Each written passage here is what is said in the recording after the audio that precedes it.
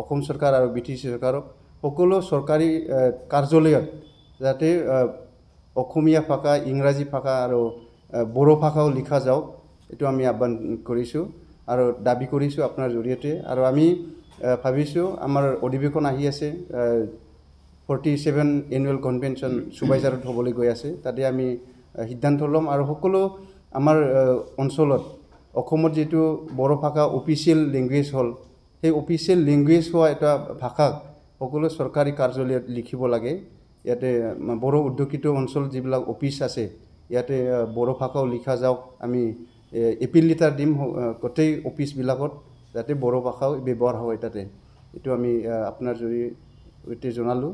আৰু এই বড়ো ভাষাক যাতে সকলোৱে সন্মান দিয়ে আমিও অসমীয়া ভাষাক সন্মান দিওঁ। অসমীয়া ভাষাৰ যিমান পেপাৰ আছে আমাৰ অফিচত আহে আমি অসমীয়া ভাষা অসমীয়া ভাষা দিয়ে নিউজ লওঁ। সেইকাৰণে আমিও সন্মান কৰোঁ আনৰ লেংগুৱেজটো সেইকাৰণে আমাৰ বড়ো ভাষাও যাতে এনেকুৱা নেগলেক্ট নকৰে। সেইদিনা মানে অবৈধভাৱে উঠাল উঠাই দিয়াৰ লগে লগে আৰু অভদ্ৰভাৱে উঠাই দিয়াৰ লগে লগে আমাৰ বড়ো লেংগুৱেজক অপমান কৰা হৈছে যে ইয়াতে মানে উঠাই পেলোৱা হৈছে। ইয়াৰ কাৰণে আমি দীক্ষা দিছোঁ। আৰু যাতে ভৱিষ্যতত এনেকুৱা কাম নহ- নহয় ইয়াৰ কাৰণে আমি সদৌ ছাত্ৰ সন্থাৰ নেতৃবৃন্দক আহ্বান জনাইছোঁ। এইটো উগ্ৰভাৱে উঠাই পেলাইছে। ইয়াৰ কাৰণে আমি দীক্ষা দিছোঁ। কাৰণ ইয়াতে ইংলিছ আৰু বড়ো ভাষা আছিল। আমাৰ চাইনবোৰ্ডটো উঠোৱাত আমাৰ আ, ইমান অবজেকশ্যন নাছিল।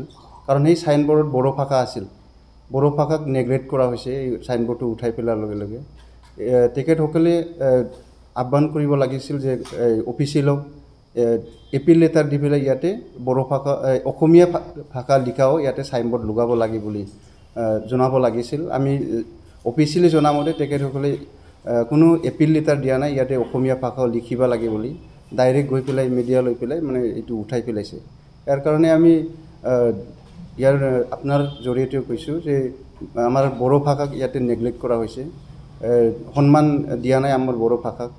আমিও আদৰণি জনাওঁ সকলো চৰকাৰী অফিচত চাইনবোৰ্ডত এ, অসমীয়া থাকক ইংলিছ থাকক বড়ো থাকক।